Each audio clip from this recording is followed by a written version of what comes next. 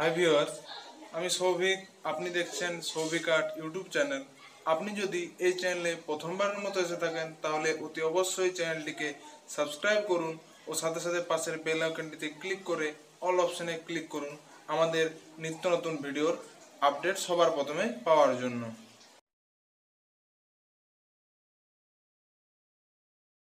Hi viewers আমি সৌভিক। আপনি দেখছেন সৌভিক আর্ট ইউটিউব চ্যানেল। আজ আমরা লক্ষ্মী প্রতিমা নিয়ে আপনাদের সামনে উপস্থিত হয়েছি। এই লক্ষ্মী প্রতিমার যে ভিডিও আমরা তৈরি করেছি, সেই ভিডিওর আজ হচ্ছে সেকেন্ড পার্ট এর ফার্স্ট পার্টের লিংক এই ভিডিওর নিচে ডেসক্রিপশন বক্সে দেওয়া রয়েছে।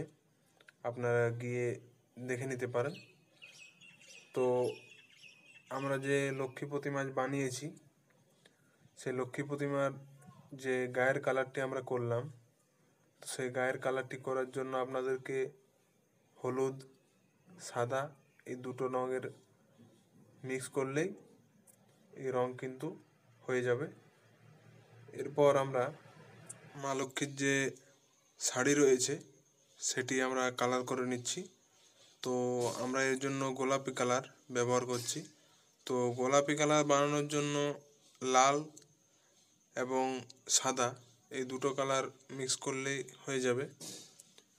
তো এই গোলাপি কালার আমাদের হয়ে যাওয়ার পর আমরা ডিপ গোলাপি কালার নিয়ে যে শাড়ির যে খাঁজগুলি রয়েছে সেগুলিতে আমরা শেড বানিয়ে দিচ্ছি। তাতে করে শাড়িটি দেখতে আরও সুন্দর লাগবে। এভাবেই আমরা প্রতিমা করার সর্বপ্রথমে যেগুলো অনেকটা এরিয়া জুড়ে যে রঙগুলি থাকে, যেমন ধরুন আপনারা গায়ের রং, শাড়ির রং, ব্লাউজের রং, এগুলি আমরা আগে বানিয়ে নেব। তারপর যে ছোটোখাটো কাজ আমাদের থাকে, সেগুলি আমরা করব। এরপর আপনারা দেখতে পাচ্ছেন যে মা লক্ষ্মী শাখের উপর বসে আছে। তো শাখের কালারটা আমরা করে নিচ্ছি। তো সাদা কালার আমরা করা হয়ে গেছে এবং সাইডে মা লক্ষ্মীর বাহন, অর্থাৎ লক্ষ্মী পেঁচা রয়েছে, তার গায়ের রঙও সাদা। তো আমরা সাদা কালার করে নিচ্ছি।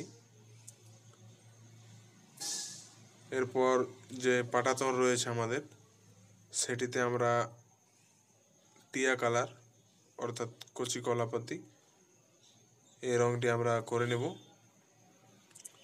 সম্পূর্ণ রঙটি ভালোভাবে আমাদের যখন দেওয়া হয়ে যাবে, তারপর আমরা আস্তে আস্তে সূক্ষাতি সূক্ষ্ম কাজের দিকে এগিয়ে চলব।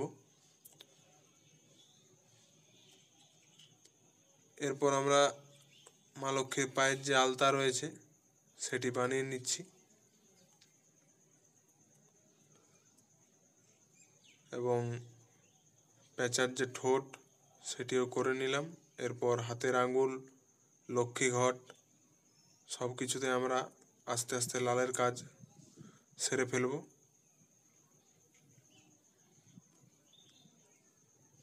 আসলে কালো কালারের কাজ করার আগে লাল রঙের কাজ করে নেওয়াটা খুব জরুরি। এরপর আমরা ঠোঁটের কাজ করে নিচ্ছি লাল রং।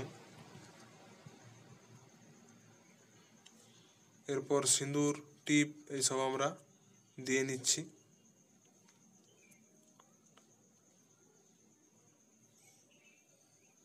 লালের কাজ হয়ে যাওয়ার পর মা লক্ষ্মীর যে মুটুক রয়েছে, তাতে আমরা হলুদ কালার প্রথমে করে নেব। তারপর নীল রঙের সাহায্যে আমরা বাকি অংশটাকে ঢেকে দেব। আমাদের মুটুকের কাজ হয়ে গেলে আমরা এবার চক্ষুদানের কাজ শুরু করছি। তো আমাদের চক্ষুদানের কাজ মোটামুটি হয়ে গেছে। এরপর চুলের কাজ। স্টেপ বাই স্টেপ আমরা একে একে সমস্ত কাজ করে করে যাব। এক সাইডের চুলের কাজ হয়ে গেলে এরপর দ্বিতীয় সাইডের যে চুল রয়েছে সেটিকে আমরা করে নিচ্ছি। আমাদের চুলের কাজ হয়ে গেলে এরপর যে শরীরের দিকে যে চুলগুলো নেমে আছে সেগুলোকে আমরা কালার করে নেব। এক্ষেত্রে আমরা বড় তুলির ব্যবহার করব। আমাদের মোটামুটি চুলের কালার করা হয়ে গেছে।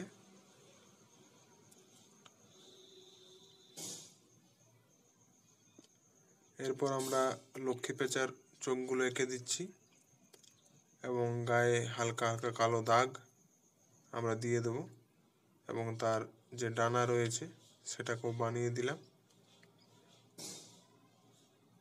হয়ে যাওয়ার পর চোখের মধ্যিখানে আমরা সাদা রঙের দুটি ফোঁটা দিয়ে দেবো, যাতে করে চোখগুলো দেখতে আমাদের আরও ভালো লাগবে। এরপর ব্লাউজে কিছু ছোট ছোট ডট সাদা কালারের আমরা এঁকে দিচ্ছি। এতে করে দেখতে আরও ভালো লাগছে। আপনারা নকশাও বানাতে পারেন।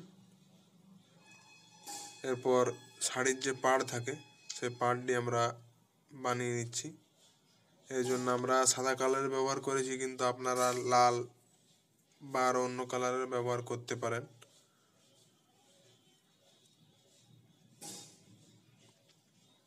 এরপর ছোট ছোট ডট দিয়ে আমরা সম্পূর্ণ পাড়টিকে করে নেওয়ার পর শাড়িতে কিছু ফুল আমরা এঁকে দিলাম।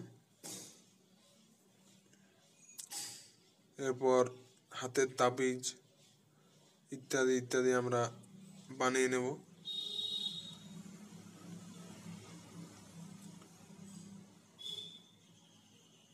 তো আমাদের মোটামুটি কমপ্লিট হয়ে গেছে। নাকের নাক ছাবিটি আমরা বানিয়ে দিলাম। তো দেখুন, আমাদের লক্ষ্মী প্রতিমা কমপ্লিট হয়ে গেছে। কেমন লাগছে অবশ্যই কমেন্টে জানাতে ভুলবেন না এবং ভিডিওটিতে অতি অবশ্যই একটি লাইক করবেন এবং চ্যানেলটিকে অতি অবশ্যই সাবস্ক্রাইব করুন।